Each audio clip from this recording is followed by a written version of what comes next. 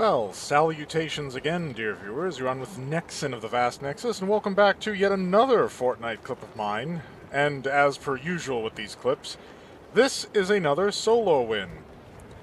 Um, at time of recording, and at the time I actually did this, it's Chapter 2, Season 4, and if the ludicrous amount of fog isn't giving you any clue, this is right in the middle of Fortnitemares for this uh, particular season. Don't mind the ludicrous kill count towards the end, we'll get to that. Fortnitemares, last time I played it, was a bit underwhelming. Every now and then you approach an inanimate object and some uh, bot-controlled zombie would erupt out of it and just basically be more of a nuisance than an actual threat. This season definitely upped the ante a bit with the shadows. Fundamentally, you have players coming back into the map who can coordinate, well, not through speech. Uh, the shadows can communicate with anyone outside of their team or their party, but they can time their attacks, schedule like when they're going to attack players. And in fact, I'm going to be covering some of the behaviors that those of you who find yourselves shadows in Battle Royale might want to practice because if the shadows that I had come up against at the end of this game were a bit more knowledgeable in how to fulfill the role, things might have ended very differently. Because fundamentally, I only made one actual live, what shall we say, live player kill in this entire match. The rest of it was pretty much just shadows. So fundamentally, shadows 1v1 versus a player, if that player is anything but in weakened condition, it's not going to end well for the shadow.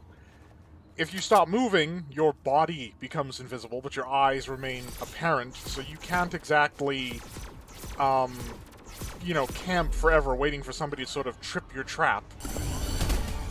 I actually forgot that I'd run into one of these gorgers. I haven't seen one in ages.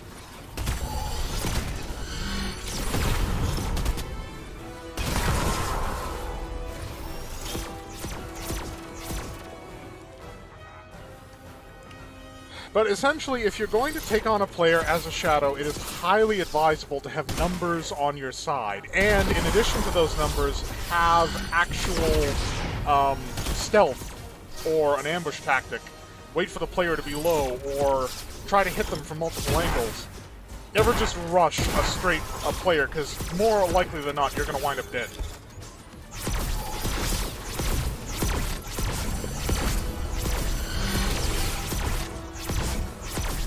So as for a lot of my solo wins, uh, this began essentially not as a straight-up attempt to play the game, and it was more so I was trying to complete a challenge for Fortnitemares. Specifically, I was endeavoring to visit the witches' shacks, different witches' shacks. I had three clustered together that I had in mind, but between the zone and certain complications, like first this and then players attacking me, I ultimately was forced to effectively abandon that objective. And of course, I don't just quit out if I fail to do what I accomplish. I play the game. Because part of the grind aspect of the game at the end of the day is that every chest you opened, every enemy you eliminate, every storm phase you survive, it's all worth points. Then, of course, this season, to unlock everything... Yeah, I initially didn't realize where he was shooting me from.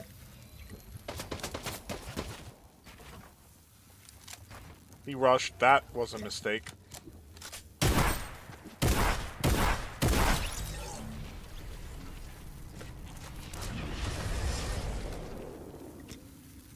And yeah, I'm fairly confident that's the only player I eliminated per se in the match, because of course they're not considered eliminated fully, if you will, unless they're eliminated as shadows. So I landed at a witch's hut, or shack, or whatever it's called. I did that, at least, but the rest of this just sort of turned into me... I've... Honestly, I was chatting with ZKA at the time, I don't even remember what I was thinking when I was just sort of playing it, I was just kind of running around. Speaking of which, uh, he's probably going to watch this, but shout out to you, ZK, for being a good luck charm. It's actually, I don't think, the first win I've had when he was spectating, so... Now, this guy had just... given up, I guess, because he... Yeah.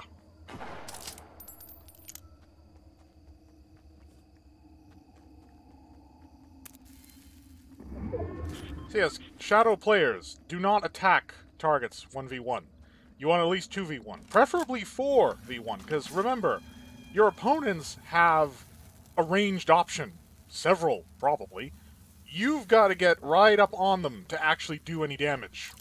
It's also impossible to actually sneak because you can crouch, and therefore you're always going to be on visualized sound effects.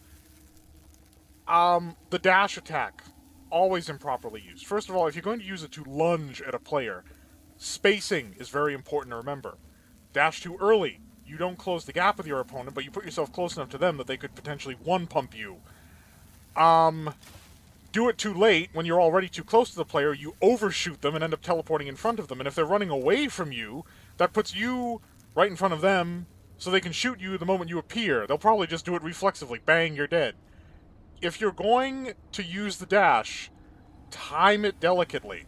Also, you have a floaty jump use it as an alternative method of evasion. What you should be using your dash for is getting out of trouble or phasing through structures. Because I've noticed a lot of times shadows will break into structures. It's not a good tactic for shadow because fundamentally a shadow is most vulnerable out in the open.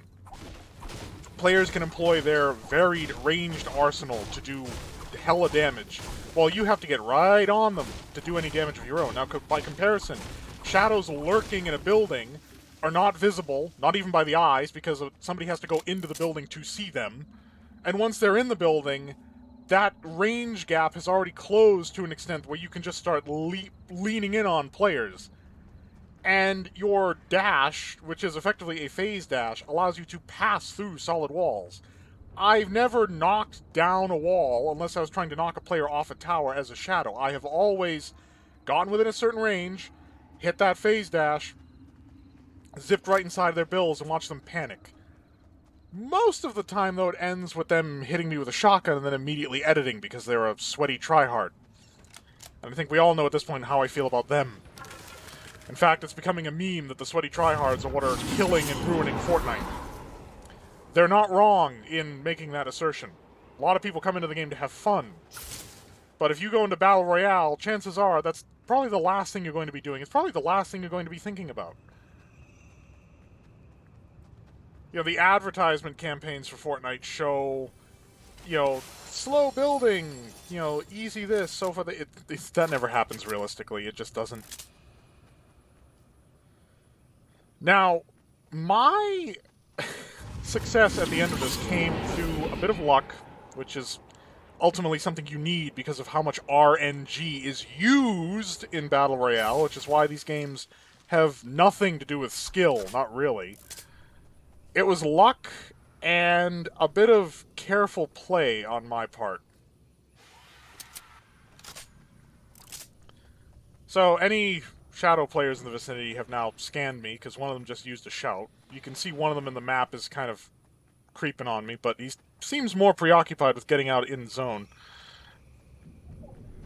Here's another thing. There's four Shadow players, or three Shadow players right there. But they don't internally register that, hey, we have enough numbers on this one player player, we should rush him. No, they're all just kind of idly floating around. I think the meta strat with a lot of people right now with the Shadows is basically just to avoid fighting until there's, say, 20 to 10 players left, and then they just rush that number of players. But honestly, if all the players are together, I have seen even the sweatiest tryhards put their disagreements, their mutual lust for the dub, on pause to deal with a common threat. And because all of the shadows are coordinated together, and a bigger threat in numbers, players, even tryhards, will often focus shadows rather than each other. So ultimately, Shadows to some extent stand a far greater chance of winning by using the tactics that I normally use, but have been somewhat invalidated by this Fortnitemare's change to the thing. I mean, it's not too visible now, but there's quite frequently a blinding fog over the map, which makes sniping beyond short distances impossible. And the Shadow's ability to basically radar you means that you can't just hide in a bush or in a building because the shadows will find you.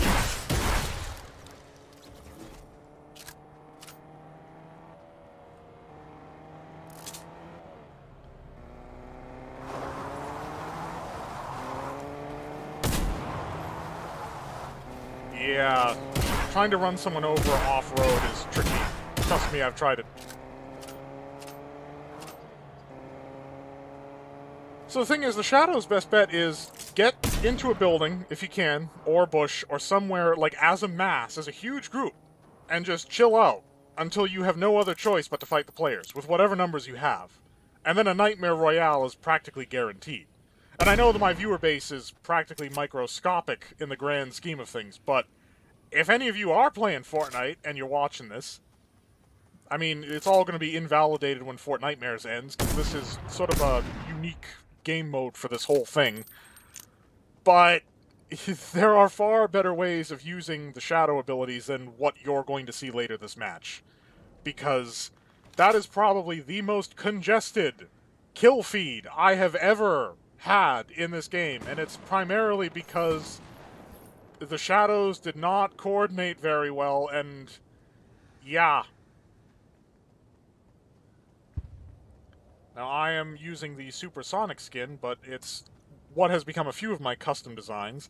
He's supporting the uh, Black Manta's back bling because the uh, kill counter, whatever it's called, that he uses by default is just a little too flexy for me. Although I imagine in this match it probably would have been monitoring uh, quite a few kills I've also unequipped his uh, Season 1 style default glider, which of course has its own sound effect and its own skin, so it's not actually the default glider. But I've unequipped it in favor of the Shadow Glider that I think I got in Chapter 2, Season 2. I actually really like the skin, the whole gas mask with the skull face thing and the all black uh, garment it's very me.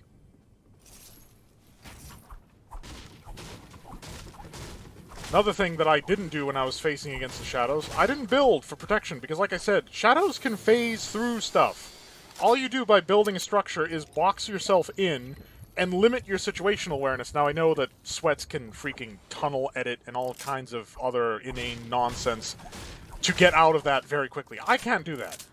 For me, my chances of survival are far better to keep a quick wit, a swiftly pivoting neck,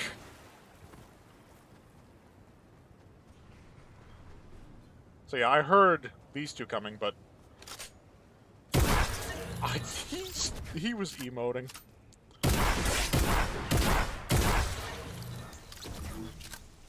A lot of these Shadow players are just throwing in the towel because they don't want a Nightmare Royale because it's not a personal win.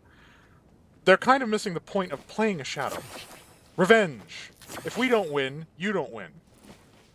It's one of those amazing instances in which Fortnite players are being not petty and vexatious. Even though they should be, because that's kind of the point.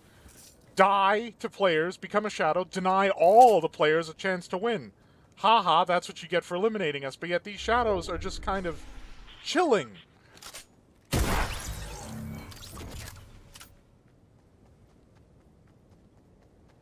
That's actually a player. Did I get a second player, elim?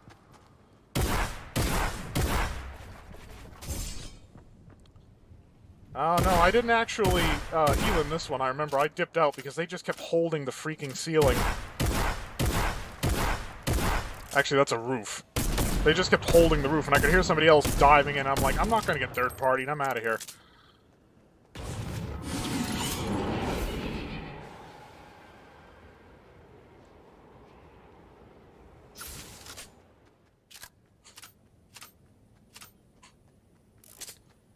Yeah, turbo building. The Sweats wanted it. The Sweats got it. And it basically has introduced a meta in this game which is broken as hell. I intend to do an actual video demonstrating that at some point. But the ability to hold a wall, effectively so long as you have mats, is broken as hell, because you can have a modest number of mats, and your enemy could have an excess, an overabundance of ammunition, and you'll still have a wall after they've run out. That's super broken. It's like, don't even give me that. It's fundamentally some Fortnite equivalent of putting your shields up. And the notion that it's a trade-off because they can't attack you is also garbage, because a millisecond later they'll edit a hole in it and you'll end up being given a facial by a gold pump shotgun.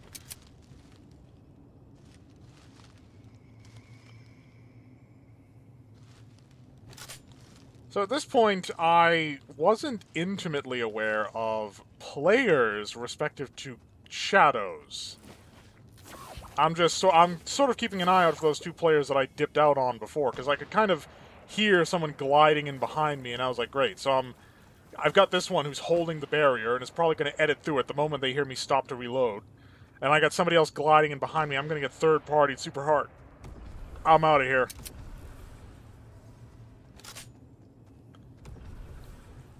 Now, what saved me for this final bout was ultimately distance.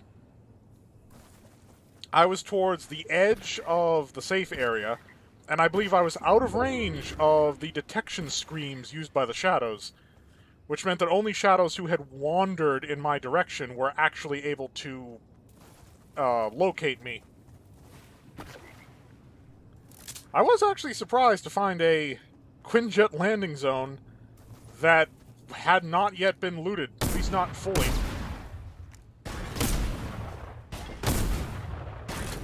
It was around my attacking the Quinjet that I noticed that it was it had turned into about 16 shadows versus little old me, and I resorted to I might have need for some of these drones because the numbers are not in my favor. Unfortunately, the storm closure kind of crept up on me, and I only ended up making out with one drone. Not what I was hoping for.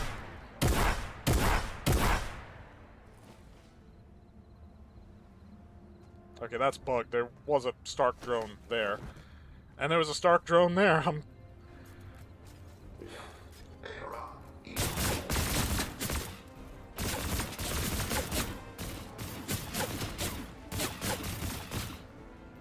That's an interesting replay glitch.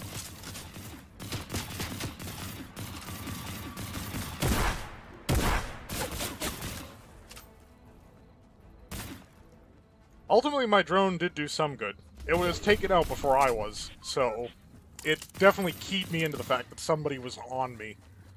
Because you'll note that my kill feed shows pretty much two elims clustered together, and then a space of time, and then two more elims. That is what gave me a fighting chance, because you can deal... This is my point. You might think that, oh, we got 2v1, we have a numerical advantage. In an open space, though, where you have to cross open ground to reach your opponent, oh, don't even try. Like I said, you need four shadows per player. Do not go aggressive in the open without four shadows per player. What are you even thinking? Half the time the shadows just want to die so they can go back to the lobby.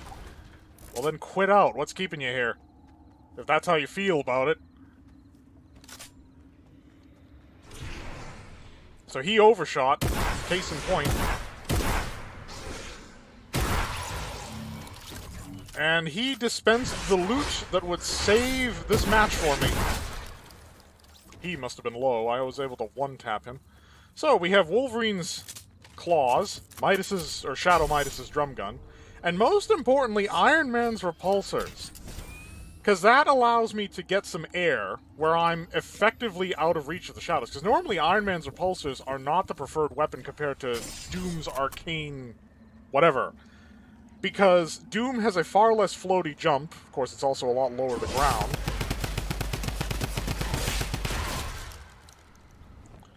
Doom has a far less floaty jump, and the explosive splash area on his weapon is bigger and deals more damage. But here, where my opponents don't have a ranged option so they can laser me out of the sky while I'm floating around with Tony's stuff, um, those repulsors keeping me in the air basically kept me out of reach of the shadows, so they could not get me.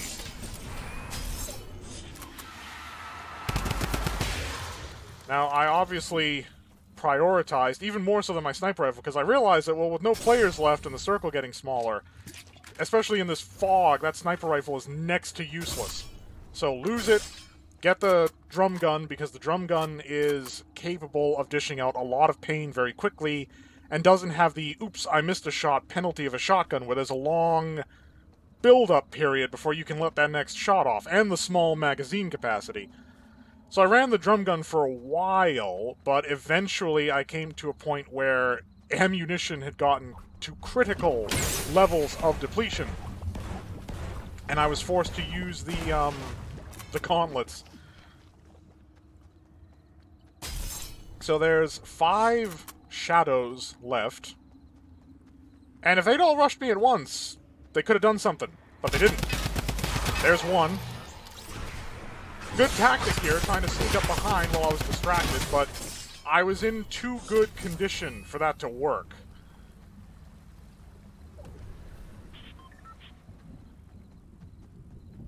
So now I'm much more of an active predator because... Yep, there we go. Get that distance, and then deal some damage.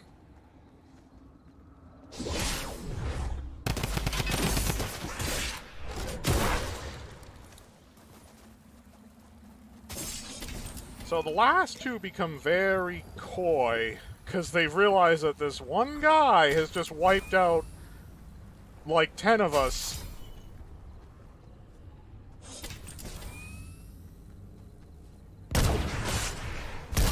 There's that distance again. Another one bites dust.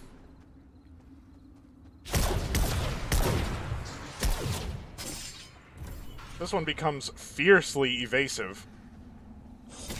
I mean, you can see the huge time gap there. Two minutes about without actually seeing him again. Probably looking for loot to recover health, but at this point, with my equipment, and considering the fact that I'm still in decent shape, doesn't stand a chance. And pretty much we're just looking at BM right now. He's trying to drag it out. Which is fine, I still got the dub. I got two minutes. So yes, normally I'd say that Tony's Gauntlet's double-edged sword. Potent attack, sure, but useless against structures, even more than Doom stuff, and that floaty jump just invites you to get lasered by somebody with a scar. But in this instance, being able to protract that hang time and stay above my enemies who have to fight me at close range, enormously beneficial. I'd replenished some of my AR ammo there, so yeah, he's he's looking for an opening.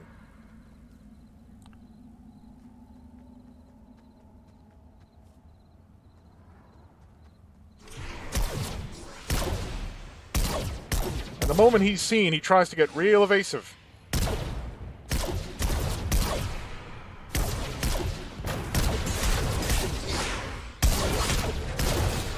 And that's the dub. Well, thank you all so much for watching. I hope you're all staying happy and healthy out there. And as always, fare thee well as I dance. I occasionally have fun in this game. Very occasionally.